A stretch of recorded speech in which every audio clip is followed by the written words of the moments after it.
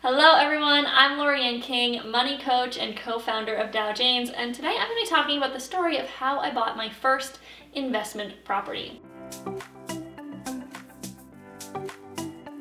Now, the truth is that I never actually intended to buy an investment property. This whole journey started when I just started to get the calling. I felt like, oh, I really want to buy a house. Was living in an apartment in San Francisco at that point in time. You know, my husband and I, we'd been married for a couple of years and I felt like I'm ready to, you know, start laying down my roots. I want to own some property. And my husband came with me. We were to go look at some homes with the realtor. And, you know, I was totally new to this world. I didn't know if that meant that I'd hire the realtor. I didn't really know what that meant. And my husband was really actually not on board with the idea of buying a house. In fact, we go uh, to an open house, we meet the realtor there, and the first thing my husband says to him is, I don't want to buy a house. And the realtor asked why, and my husband said, well, honestly, I think it's kind of a racket. Like you take out all this debt to buy a home, and then you keep putting money into the home and then you only make money off the investment if you sell it, which means you don't have a place to live anymore. I just don't think that's a very good type of investment. So the realtor, kudos to him, was like, oh, okay, you know, well, let's take a look around.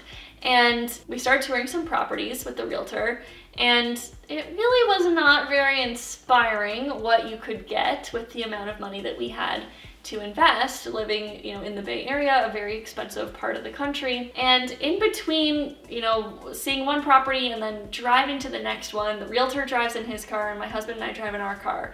And just before we get into the cars the realtor mentions that a friend of his had just bought a triplex like one town over from where we were currently looking and the numbers worked out so that his friend was able to live in one of the units and then rent out the other two which paid for his mortgage and paid for his own cost of living. As we're, my husband and I are driving to the next property, we're both very clear that we're just like, oh, well, that is what we want to do. That sounds great. You know, I really wanted to kind of move into my dream home, but what I was seeing of what was available in the market in my price point, I wasn't to get my dream home anyway. And so I kind of said, all right, well, if my husband's on board for that, I can get on board for that too. And, you know, I love a good investment. So we get to the next house with the realtor and we say, okay, that's what we want to do. Just what your friend did. We want to buy a triplex. We want to live in one of the units and rent out the other two. And he said, okay, well, due to the zoning, they don't come around very often, but I will keep my eye out for you and I'll let you know when I see one. And then he calls us the next day. And he says, you've got to look at this place. and keep in mind, you know, I'd kind of been like dragging my husband through this the whole time anyway. He didn't want to buy a house. We were at the very beginning stages of starting to look for a place and even just like see what was possible. We'd met with this realtor just one time before and now he's saying, you've got to look at this place. So we go, it's pouring rain. He takes us to an old Victorian, and I mean old Victorian. The thing is built in the 1800s. It's more than 100 years old. And he takes us on a tour of this property. And the truth is, this was not a place that I was super excited to live in.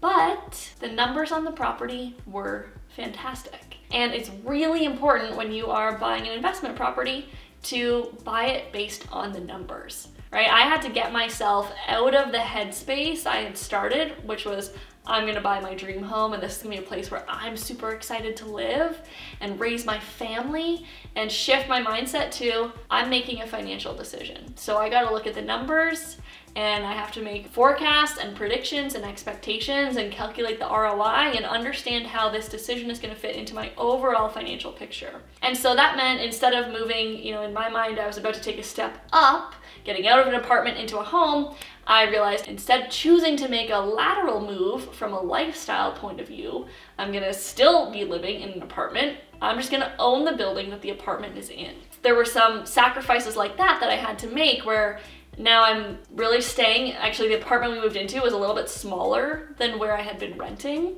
and it was a little bit quirky. Like this was really a house that had been divided up into apartments and so there was only one closet in our entire apartment and it was in our kitchen.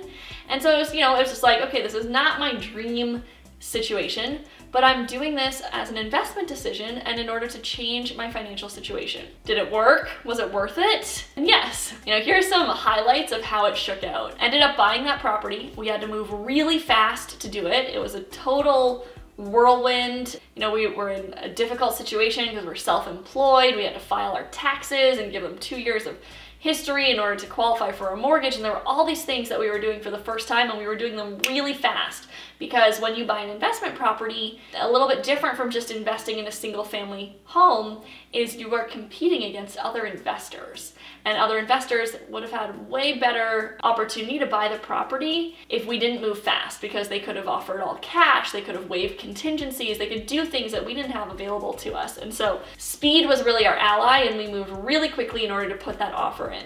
Getting the property, getting it, I think, uh, at basically asking price and we lived in it for just over a year. During that time, the rent that we had from our other two tenants was enough to cover the full mortgage of the property, and so we lived rent free. So I kind of made this lateral move from apartment to apartment inside of a building that I own, but now it wasn't costing me anything and we had other people paying our mortgage, building up equity in the property. And so that part was really awesome. We had to do things, like I say we because my husband and I did this together and we co-managed the property, and we had to do things that were definitely outside of our comfort zone. There was a lot of new stuff we had never done before that we needed to do once we owned the property, including a large renovation where we had to replace half of the foundation of the house. And anytime you hear the word foundation and house, is like scary because um, that's the foundation, you know, it's an important thing. And in this house, we had half of it was like an old brick foundation and the house wasn't even attached to it anymore.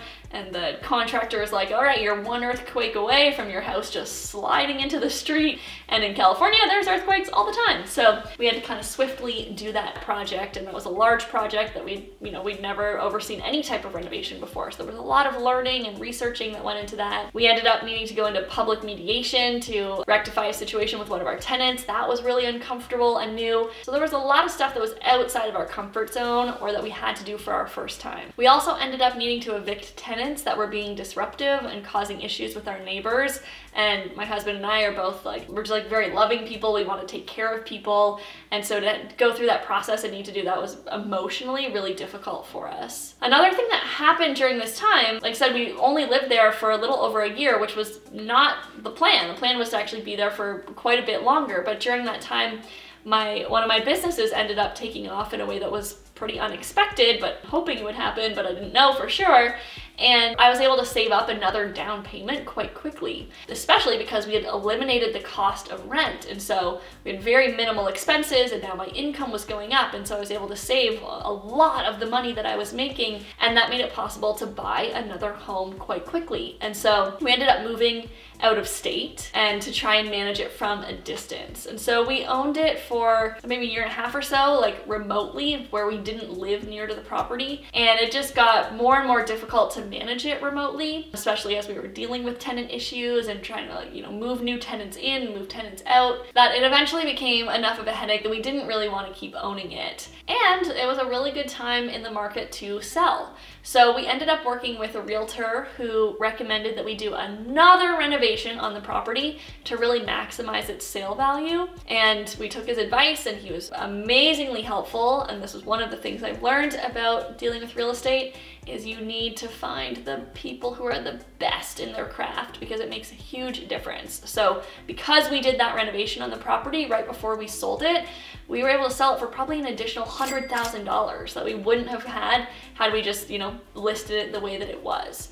And so all said and done, we bought and sold the property. We owned it for less than four years and that investment probably increased our net worth by about $400,000 between the money we saved from not paying rent while we were living in the property, the depreciation value from the home that we were able to deduct against our income taxes, and then the money that we actually made when we sold the property. So that was a pretty profitable investment for us. And some of the lessons that I learned are that fortune favors the brave.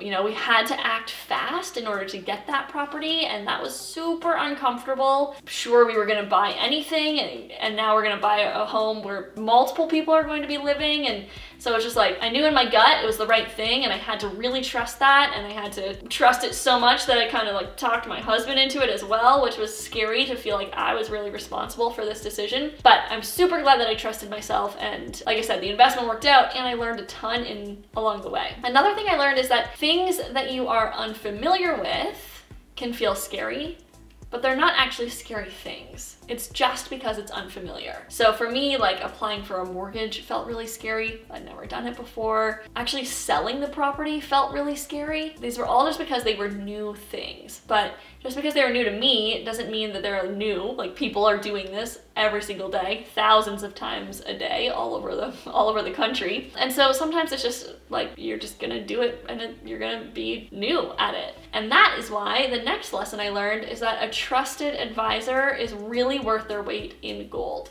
Now, when you're doing something like this, work with the experts and make sure you get people who are good. Get referrals. Like if you're investing in multifamily homes, make sure you work with an agent that does a lot of work in multifamily homes. You know, if you're applying for a mortgage, make sure you're working with a mortgage broker that's senior in their space or someone that can like move things along swiftly. You really want to work with people who are in the top of their field because that can make the difference between a deal happening or not happening. Or in our case, like I said, the realtor that we worked with was really an expert in multifamily homes, knew how to maximize the property value before we sold it, really was the one who like mentored and educated us about why we should do that renovation before we sold it and his advice was worth $100,000 to us. And another lesson is that you should expect for it to be bumpy. You know, when you're investing in real estate, especially like real estate that you are going to manage and be involved in, it's real, right? It's not a passive investment in the way that putting money into the stock market is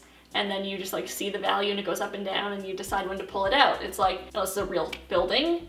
Buildings have appliances and things that fail and you are getting your money from real people, real tenants. And so there are going to be the friction that comes with like real physical assets and the friction that comes with real people and the relationships that are there. And so this passive form of income is not entirely passive, right? There is work to be done, and when it comes up, it needs to be done right away. Like someone's toilet breaks, okay, that's gotta be fixed immediately. but then there are long periods of time where it is totally passive and we didn't have to do anything and the checks just showed up on time the way they were supposed to. So it's not completely passive, but there, there are passive periods in it. So will I do it again? Will I have another investment property? I will invest in real estate again, but I will be doing it differently. I really love and believe in real estate as an investment vehicle, as a way that people build wealth. I think the recent stat I read is like 83% of millionaires do it through real estate. And I currently have a vacation property that was a part-time Airbnb rental. That's the real estate that I have right now beyond the home that I live in. But it does take work to manage a physical asset. And at this stage in my life, I have two young kids under three. Being called about someone toilet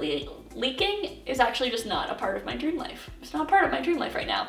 And so that sacrifice that I was willing to make earlier, where I was like, okay, I'm making a lateral move here, I'm gonna live, stay in the apartment lifestyle, I'm willing to sacrifice part of my dream life, living this dream home, in order to advance my financial future. I'm not willing to make that sacrifice at this stage in my life anymore, and I'm not really willing to make the sacrifice of needing to be on call to support tenants, and you know, if I'm gonna be a landlord, being a good landlord is important to me. And so so I'm not gonna invest in real estate in that way. I'm now starting to invest in what's called a real estate syndicate as a passive investor. So truly a passive way to invest where there is a professional company that is finding the deals, managing the property, buying the property, overseeing the renovations, all the stuff that I was doing and my husband was doing on our small investment. I now want to be an investor in a much bigger play where they're buying an apartment complex and I'm invested as just you know, one of multiple investors in that property. And, you know, there's some downsides to that, like I won't have control over the property, I won't have control necessarily over when I get my money out